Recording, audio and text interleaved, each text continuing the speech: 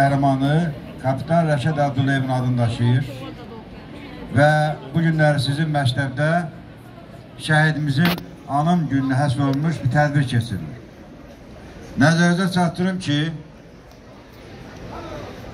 Kapitan Rəşad Abdullayev 2020-ci il 27 sentyabr döyüş əməliyyatları başlayarsa mənfur düşmənin cəhbəsini yaran ilk dəstənin komandiridir.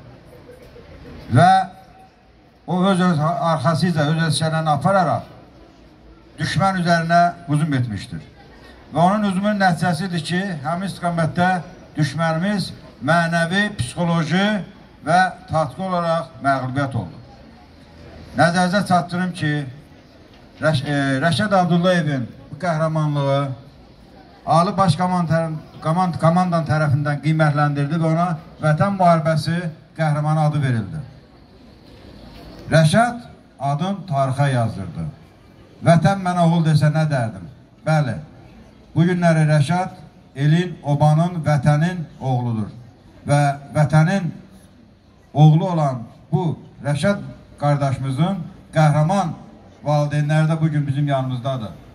Arif ata, Sevil ana. Sizi salamlayıram, sizin qarşısında baş əyirəm. Nə yaxşı varsınız.